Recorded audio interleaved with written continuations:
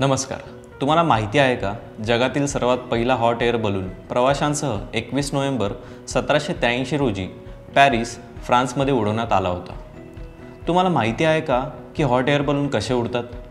तर मग हे जाणून घेण्यासाठी आपण एक प्रयोग करूयात. येथे माझ्याजवळ कागदापासून तयार केलेला एक सर्पिल आहे जो या दोऱ्याला टांगलेला आहे. आणि एक बल्ब आहे जो या बटनाला जोडलेला आहे. आता जर मी हे बटन चालू केले तर थोड्या वेळात सर्पिल फिरायला लागतं.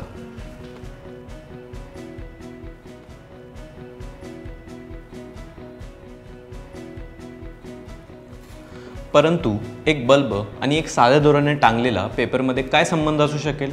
हे कसं काय फिरत असेल? चला समजून घेऊया. तर असं होतं की बल्बच्या आत एक टंगस्टनची तायर असते. जेव्हा यातून विद्युतधारा प्रवाहित होते तेव्हा ती इतकी गरम होते की प्रकाशाची निर्मिती करते. याच्या गरम होण्यामुळे आजूबाजूची हवा देखील गरम होते. आणि आपल्याला माहिती आहे की गरम झाल्यावर वस्तूचे प्रसारण होते व तिची डेन्सिटी म्हणजेच घनता कमी होते. असे झाल्यामुळे ही गरम हवा वरच्या दिशेने प्रवाहित होते आणि गरम हवा वर आल्यामुळे सर्पिल फिरायला लागतो. अगदी अशाच प्रकारे हॉट एअर बलूनमध्ये या गरम हवेस एका मोठ्या कापडात बंदिस्त केली जाते.